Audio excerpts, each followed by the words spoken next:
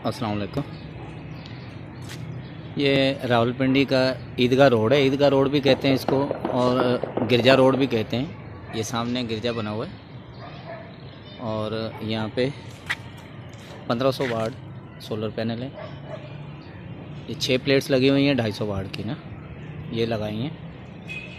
इसके साथ सिस्टम है P W M M P P T नहीं लगाया हमने, क्योंकि उसकी डिमांड नहीं थी यहाँ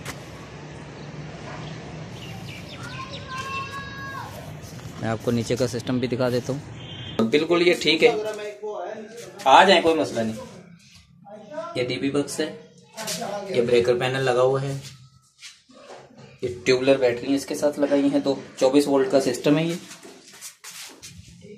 ये फ्नेक्स की दो बैटरी हैं ट्यूबलर बहुत अच्छी परफॉर्मेंस है इसकी। मैक्स पावर का सिस्टम है ये। ये चल रहा है अभी। ये देख लें आउटपुट भी दे रहा है आपको जस्ट सोलर से काम कर रहा है ये।